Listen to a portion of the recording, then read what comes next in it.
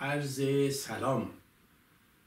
چگونگی دلیل و انگیزه تاریخی ممنوعیت تدریس زبان مادری مردم در ایران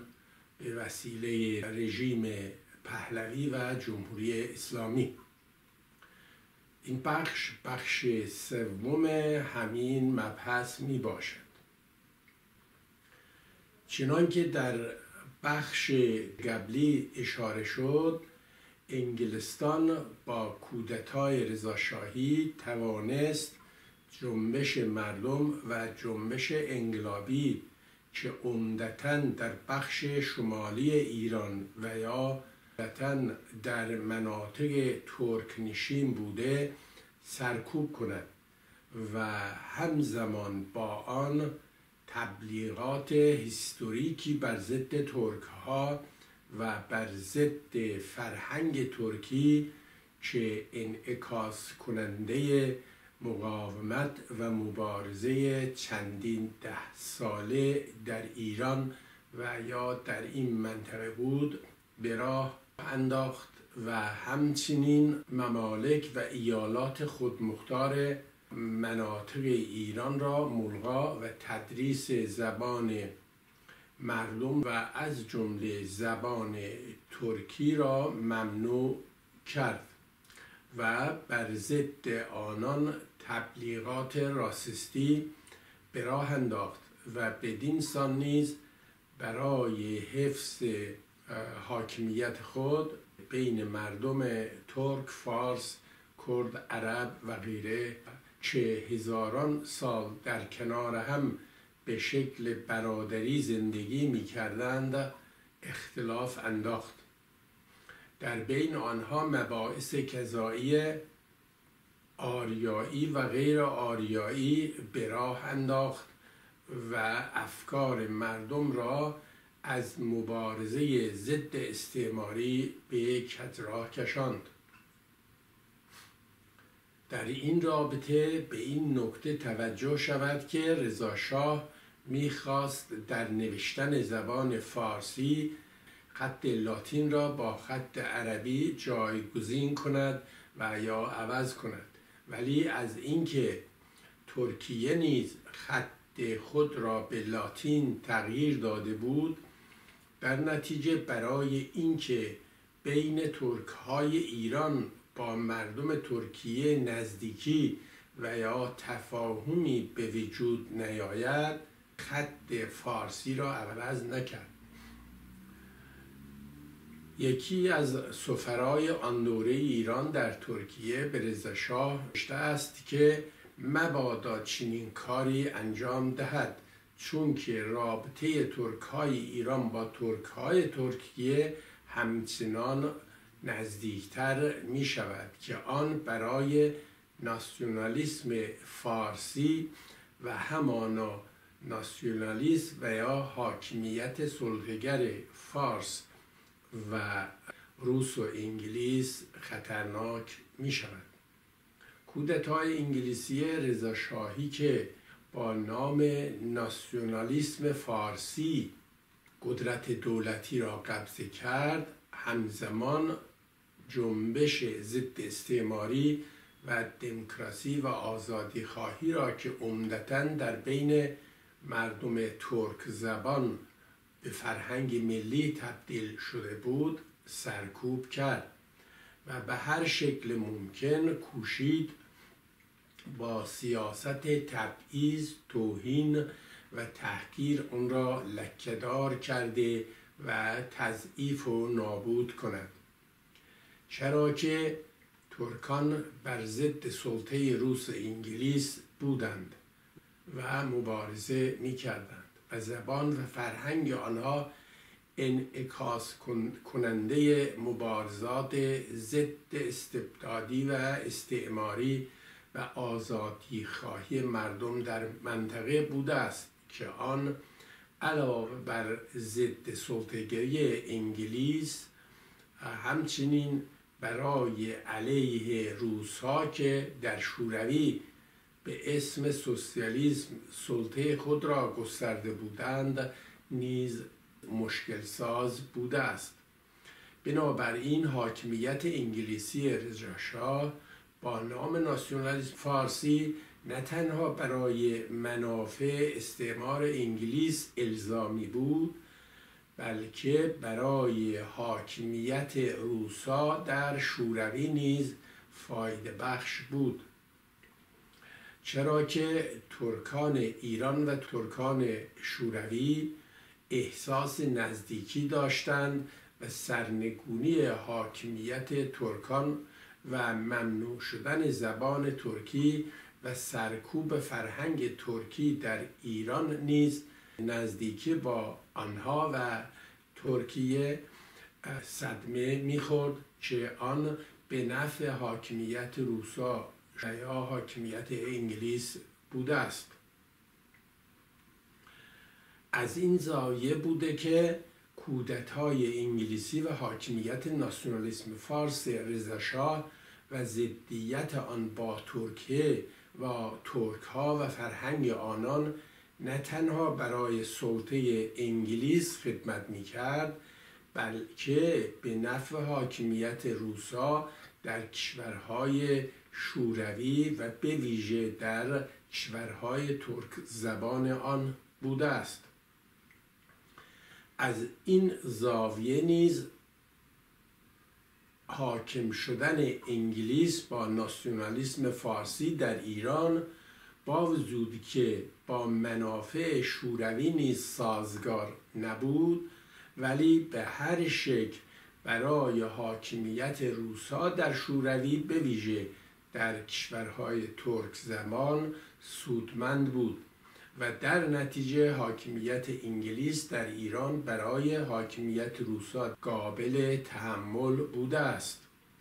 از همین زاویه نیز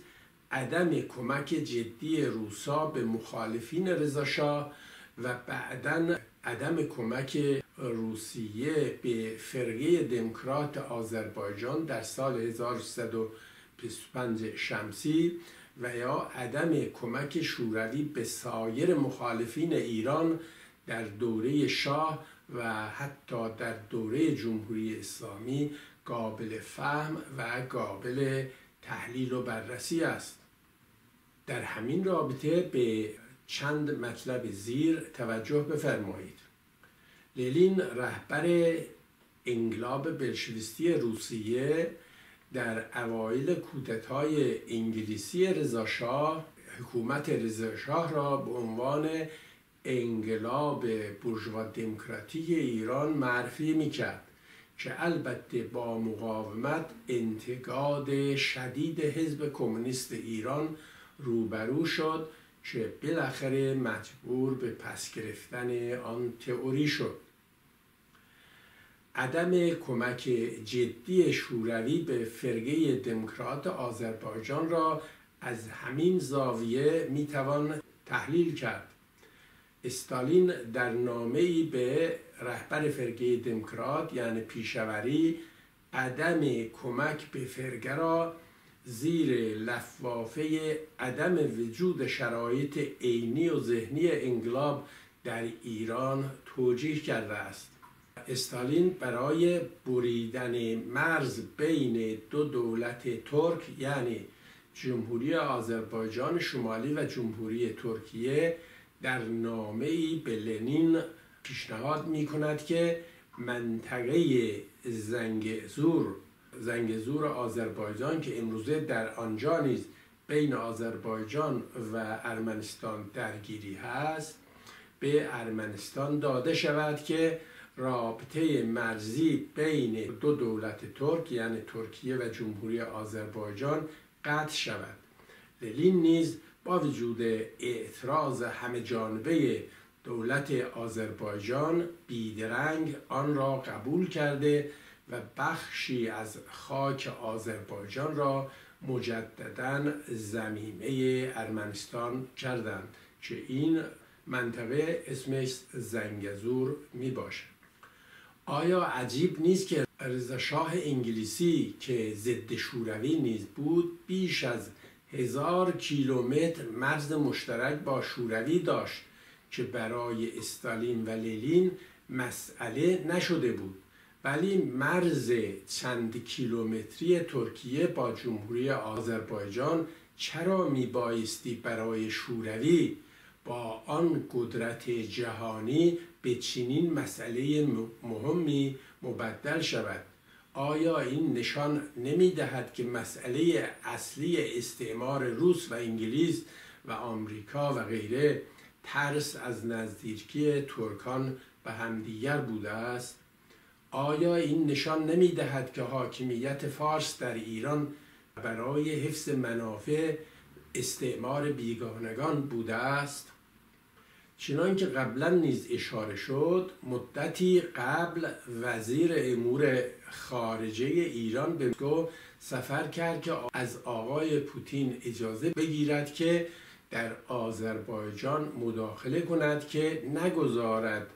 زنگ زور به دست آذربایجان بیفتد. چون با این راه ارتباط کشورهای ترک و مسلمان باز می شود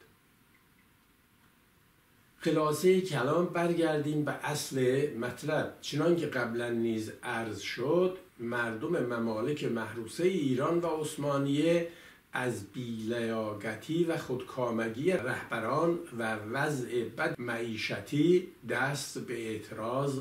می زدن. و همچنین مردم روسیه نیز از جنگ افروزی و وضع بد اقتصادی و معیشتی خود ناراضی بودند و همین دلیل مخالفت های مردم در این کشورها روز به روز افسونتر می‌شد که سرانجام به پیدایش ایده ها و سازماندهی ها و جنبش های جدیدی در ایران مثل جنبش تنباکو مشروطه و های عدالتخواه دموکرات و یا مشروطه و در عثمانیه و روسیه نیز به اشکال مختلف جنبش هایی ظهور کردند که آنها همگی با استعمار روسیه و انگلیس در منطقه مخالف بودند بعد از سرنگونی تزار یعنی حاکمیت شاه روسیه شوروی نیز در کنار مردم با سلطگری انگلیس مخالفت می کردند. همانطور که ذکر شد جنبش های مردمی متاسفانه در ایران بر اثر سرکوب گاجار که با همدستی انگلیس و روسیه تزاری همراه بود نتوانست موفق شود. ولی مبارزه مردم روسیه توانست حکومت تزار را سرنگون کند و حکومت روی کار بیاورد. حکومت جدید روسیه حاکمیت ایران و گاجاریه را به عنوان همسایه به رسمیت شناخت. و به همین دلیل نیز نیروهای روسیه تزاری را از خاک ایران خارج کرد و تمایل خود را لاعقل در حرف به دوستی و همجواری با ایران اعلام کرد. همه این پیشامدهای مذکور در منطقه خشم و نفرت استعمار انگلیس را افسونتر کرد در نتیجه با تاکتیک ها و توتاهای رنگارنگ نفوذ و سلطه خود را در سراسر ایران گسترش داد و سرانجام از ضعف و بیلیاقتی رهبران حکومت گاجاریه استفاده کرد و به کودتا دست زد. ترکای گاجاریه را که تمایل به همکاری با عثمانیه و سپس تمایل به همکاری با شوروی ها نیز داشتند سرنگون کرد و رضاشاه را با نام ناسیونالیسم فارسی به قدرت رساند. بدین سان انگلستان برای گسستن اتحاد مردم و گسستن نزدیکی مردم ایران با سایر ملل منطقه و به ویژه گسستن نزدیکی و اتحاد مردم ترک زبان و برای سرکوب جنبش های مردمی از وجود رضا شاه استفاده کرد. توجه شود که رضا شاه نام با نام ناسیونالیسم پارسی قدرت دولتی را به دست گرفت ولی وی حتی به درستی مفهوم واقعی واژه نژاد نژاد آریایی و ناسیونالیسم را نمی‌دانست. ولی با این اسم حکومت می شود چرا که حتی یک نوشته یا سخنرانی کوتاهی در این رابطه از وی باقی نمانده است. مفهوم ناسیونالیسم یا خود به خود مفهوم استقلال ملت را نیز می‌دهد زاییده شرایط اقتصادی و موقعیت اجتماعی می باشد که در دوران سرمایداری به ویژه اروپایی پدیدار آمده است. یعنی رشد سرمایهداری ملی زمین ساز ایده ها و سازمان های ملی گرا می باشد که با این ملی گرایی در مقابل هم استادگی می کنند که اصولا در رابطه با گاجاریه جامعه ما کاملا ارباب رعیتی بوده است و در به قدرت رسیدن حاکمیت رزشاه نیز چنین سرمایهداری در ایران موجود نبوده و به همین دلیل نیز هیچ گونه سازماندهی نداشته است که بتواند حاکمیت را به دست خود بگیرد. رضا نیز بجز انگلستان نمایندگی هیچ سازمانی و یا هیچ گروهی نبوده است و رضا عامل سیاسی استعمار انگلیس بوده که نمی توانست استقلال فکری داشته باشد. اگر وی ملیگرا و منافع ملت بود و استقلال فکری و سازماندهی داشت که انگلستان به این سادگی نمی توانست وی را به خارج تبعید کند. شاه مملکت به خارج با نیروی انگلیس تبعید می شود این چه استقلال و چه ملیگرایی و چه ناسیونالیسمی بوده است. انگلستان به منطقه برای گسترش سلطه خود آمده بود برای خدمت برای ناسیونالیسم فارسی و یا عربی و غیره نیامده بود. انگلستان برای گسترش سلطه خود رضا شاه را و ناسیونالیسم فارسی و عربی را در منطقه به عنوان آلتی برای حفظ سلطه و غارت ثروت و غارت منافع ملی مردم این منطقه قرار داده بود. توجه شود که این شیوه مذکور شناخته شده ترین عمل کرد و سیاست استعماری است که برای غارتگران از انسانهای ساداندیش بی سواد امثال رزشا و یا افراد بی خرد و بیشور استفاده می کنند نیروهای استعماری از رزشا و دار دسته ناسیونالیسم فارسی که خود را آریایی و برتر می انگارند برای از هم پاشیدن اتحاد مردم از تئوری کذایی و ابلهانه نجات پرستانه نژاد برتر آریایی و پاک پارسی و نژاد پست ترک و مغول عرب و غیره به میان کشید و بخشی از ناسیونالیسم فارسی را به دور خود کشان و مخالفین را بدین وسیله سرکوب و زمینه برای یک دست شدن قدرت دولتی دولتی رضاشاه و آن نیز زمین ساز سرکوب کشتار هرچه بیشتر مردم و به ویژه مناطق ترک، کرد، لور, لور و عرب و غیره بوده است. رضاشاه به عنوان عامل استعمار انگلیسی با نام ناسیونالیسم فارسی تمام زمینه های حاکمیت راسیسم و فاشیسم را در ایران هموار کرد.